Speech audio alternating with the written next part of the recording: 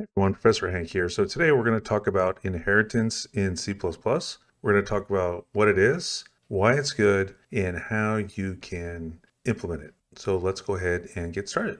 So what do we mean when we talk about inheritance? Simply put, we're talking about taking an existing class and then writing a new class based off of it.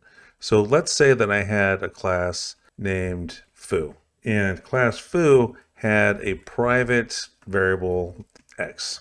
And as part of its public interface, it simply had an accessor and a mutator for setting that X variable. So let's say, you know, void set X, and then have a single parameter, and then we're just going to simply set the private integer variable X to the parameter. Okay. And then for our accessor, we're going to retrieve that. So we've got you know, something very simple and it works. So this is our mutator, and this is our accessor, and no underscore here. So this works. Now, let's say that I want to create another class, and in that class, I want to have two integer variables, and accessors and mutators for both of those. Well, without inheritance, I could write in a completely separate class, and I'm duplicating all this code that's in here, essentially. But with inheritance, I don't have to do that. I can start with class foo and then create a new class and inherit everything that foo is. So I can get these functions here for free in my new class. So the way I'm going to do that is I'm going to create a new class called bar and I'm going to put this colon here and then I'm going to have a class access specifier and I'm going to use public for right now. And then I'm going to specify, well, what class am I basing my new class off of? And that new class is class foo. So when you do this, you're establishing what's known as an is-a relationship, the is-a relationship. So class bar is a foo. And this relationship, you can refer to class bar as the child class or the derived class, derived class. And in the relationship, foo becomes the parent class, also known as the base class. So since a bar, class bar, is a foo, then it's going to get all of this stuff right here, all this public stuff for free. So when I want to add an extra variable, I don't have to write an entirely new class. I'll just do this.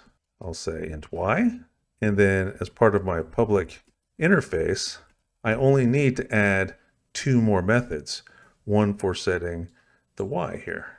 So I'll have a mutator, we'll call it set y, and that's going to set y to its parameter.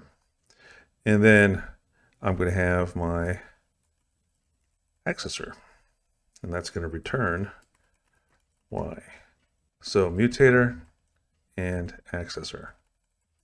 So Class bar is a subclass of foo.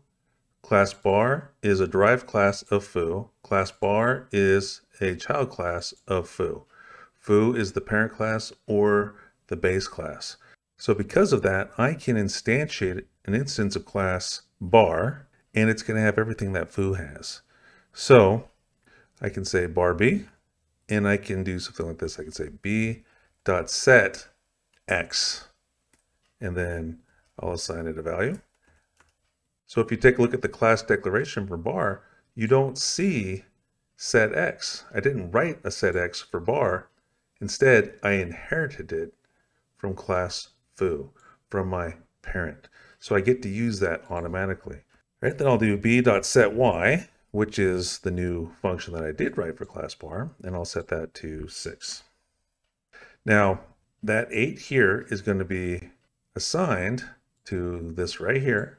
And then through this statement here, that 8, which is stored in underscore x, will then be stored in the private variable x that I inherited. And then same thing with, or similar thing with set y. The 6 is going to be copied into the underscore y. And then from there, it's going to be assigned to the y here. So in this way, my new class bar is more sophisticated, right? It has all of this stuff, access to all this stuff too. So let's go ahead and test it. So we'll do b dot get x. See how no get x inside my class bar it was inherited from class foo. So C out, b dot get x, and b dot get y. So let's go ahead and run that, test it, prove that it works. Okay, there's the 8 and the 6. But this is a new class that is a child of foo. But foo still, it's we still have the class declaration for foo, so we can still create a foo as well. Right, so we've got foo.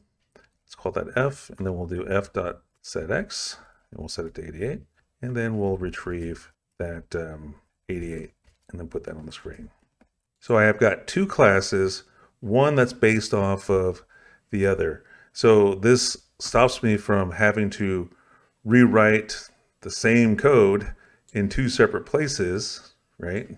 I don't have to do a setx and getx and intx in here. I can take an existing class, which presumably was tested, works just fine, is a solid code, and rather than risking messing it up and rewriting it all from scratch, I can just take that solid code and then build my new class off of it. And with that, we have a basic introduction to inheritance with classes in C++.